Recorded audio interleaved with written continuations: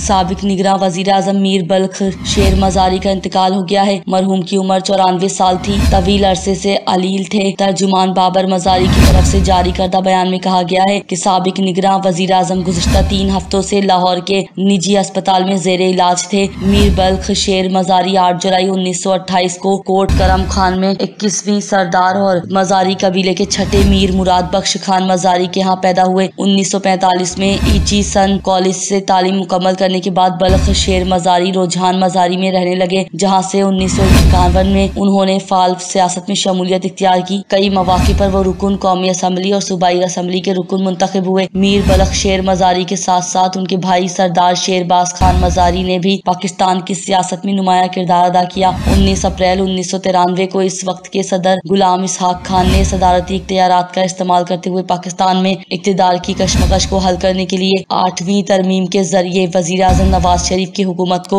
बरतरफ कर दिया जिसके बाद उन्होंने मीर बलख शेर मजारी को निगरान वजीर अजम मुकर किया वजीर अजम मियाँ शहबाज शरीफ ने सबक निगरान वजीर अजम मीर बलख शेर मजारी की वफात पर गहरे दुख और अफसोस का इजहार करते हुए कहा है की मुल्क व कौम के लिए मीर बलख शेर मजारी की खिदमत याद रखी जाएंगी मुस्लिम लीग नून के मरकजी सदर मियाँ शहबाज शरीफ ने कहा की मरहूम मजारी कबीले के सरदार थे मुल्क की सियासत में उन्होंने अहम किरदार अदा किया उन्होंने कहा की मीर बल्ख शेर मजारी पाकिस्तान और सूबा बलूचिस्तान की सियासत में कदावर शख्सियत थे